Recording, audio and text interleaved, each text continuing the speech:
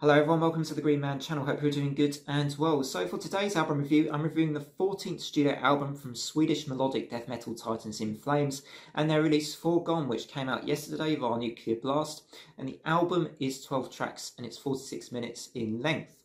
In In Flames, currently we have Anders Fridén on vocals and Bjorn Gelotte on lead guitar. Those two uh, are the longest standing band members in In Flames. And you've also got Bryce Paul on bass, Tanner Wayne on drums, and new to the band for this album, Chris Broderick on rhythm guitar. He you might know, for instance, from his stint in Megadeth.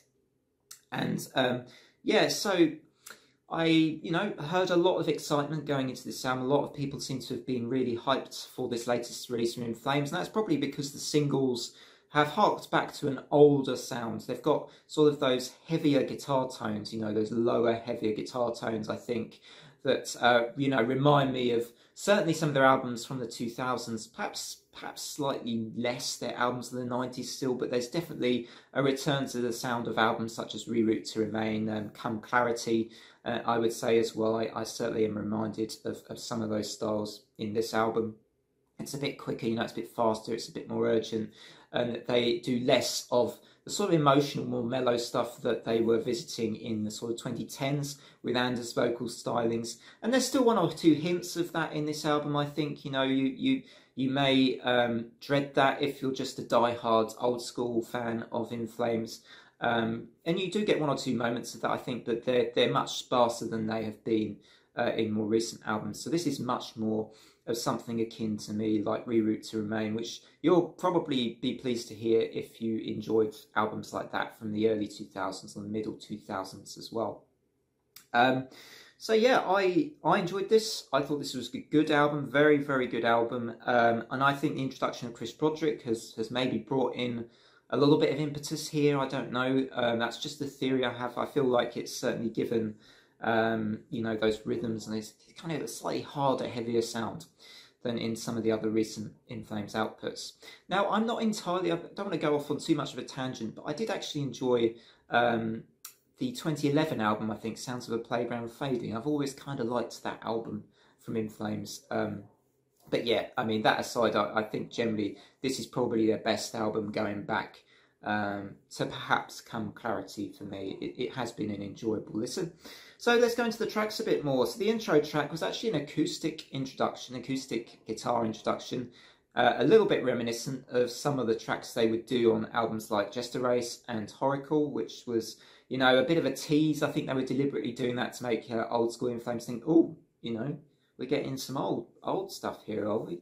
And uh, then they go into another really good track, um, State of the Decay. Um, sorry, State of Slow Decay, which was one of the singles and uh, you know just good riffing on here that is again reminiscent of that old school uh, Swedish Melodeath sound. Um, uh, I, I, did almost feel like there maybe was even room for them to do more in that song, but it, it was short, it was pretty snappy, and it was a, a really good song. Um, Meet Your Maker, uh, I loved that song a lot. Um, I thought it was just well constructed. Uh, the chorus moment was there's a good transition between the sort of uh, build up to the chorus and the chorus moment I really enjoyed in this song. Um, and even though you get Anders cleans and a lot of people you know don't particularly like his clean singing sometimes I think uh, I, I, just feel like on this album generally his cleans are uh, that bit better than some of his more recent albums where he, he does the clean singing. I thought it's on this album it's pretty good. And it actually is it, it actually makes this song more effective i think. I actually like the use of the clean vocals in the chorus for this particular song Meet Your Maker. And uh, yeah i i am um, you know definitely vibing more with with the sort of come clarity sound on songs like this state of slow decay Meet Your Maker foregone parts one and two i want to talk about next i, I liked those two parts um, the first part being a slightly heavier track the second part for me was bringing in a little bit more of the melodic um, but both good songs. Again, the songwriting on this album so far uh, to this point, I think, was really, really good. Uh, it feels like that some thought and um, you know real process and thinking about the musicianship um, behind the songs in this album. Uh, I think that's really good here as well. Um, the, the song I didn't particularly like and, and, and still am struggling with a bit uh, after a few listens is Pure Light of Mind, um, which you know, more mellow in flames here. So so this is more like the sort of song you might find on a Battles or a Siren Charms. Um, and but for me, it just kind of was flat. It was flat. It, it didn't do enough. You're going to do a ballad and then do a big ballad, just do a big ballad. This this just didn't really do it for me. I think it may have been a tribute to, to someone reading the lyrics online, but Pure Light of Mind, um, I, I just felt it was a flat point on the album. And the album's not super long. I don't think it needed a break like that in the middle.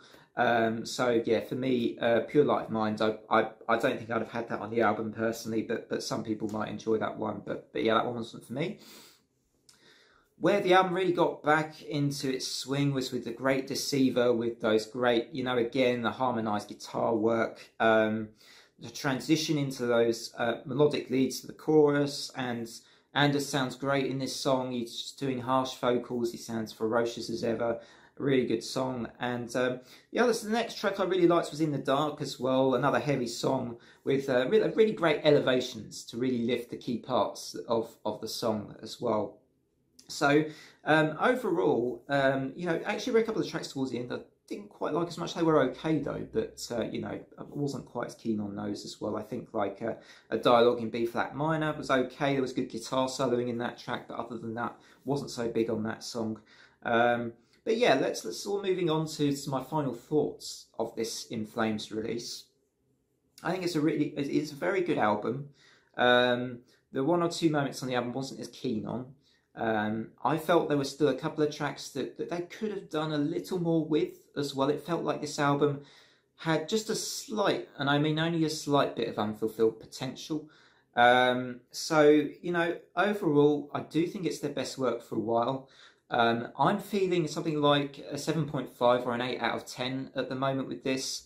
Um, I think it's closer to an 8, so I'm going to give it an 8 out of 10 uh, for now uh, as my score for this release from In Flames. I did think it was a really good album. I'd love to know your thoughts in the comments. What did you think of this 14th album from In Flames?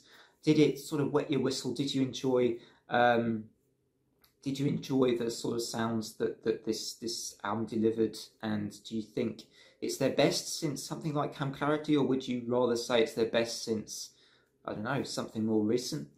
Uh, do let me know anyway. And otherwise, for me, hope you enjoyed the album review.